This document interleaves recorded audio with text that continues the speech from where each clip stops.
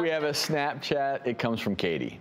I have dark scars on the inside of my legs. They've been on and off since 2012. But ever since 2014, it's like they've been stuck on me. I've tried everything, which includes medical body wash and lotion, and nothing seems to work. I have no idea where these scars came from. I'm always scared to wear shorts around people because I'm scared they think I'm gross, have a skin condition, or worse, make fun of me. I just wish I could get rid of these scars for good. Please help me. I love her accent. Yeah. so sweet. So, so I think since everybody's looking at me, I'll take this one.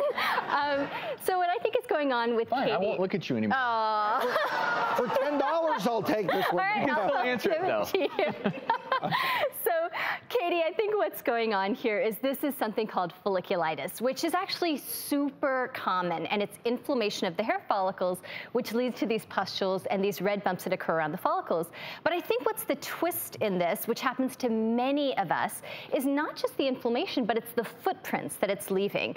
Again, dermatologists love jargon. This has a fancy name too. It's called post-inflammatory hyperpigmentation. Mm-hmm. And anybody who's olive toned or pigmented has experienced this because whenever your skin has been inflamed with even a pimple or a rash, it leaves a dark brown Mm-hmm. footprint. So I think in the photos Katie shared with us, what you see is all those hyperpigmented, discolored footprints from where she's had the inflammation before. And I think you make such a good point that any type of trauma to the skin in certain people can lead to this hyperpigmentation.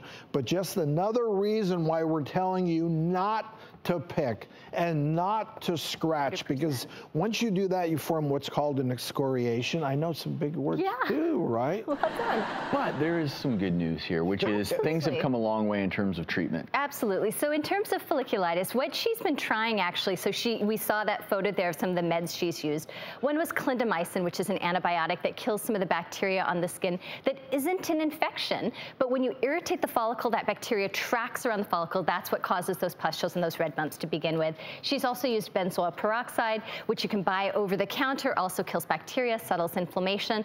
But in a lot of cases, changing your shaving habits, changing your waxing routine, that can help too. But Katie, in order to help with this, Dr. Corey L. Hartman with Skin Wellness Center of Alabama has agreed to see you to try to treat these dark scars for good.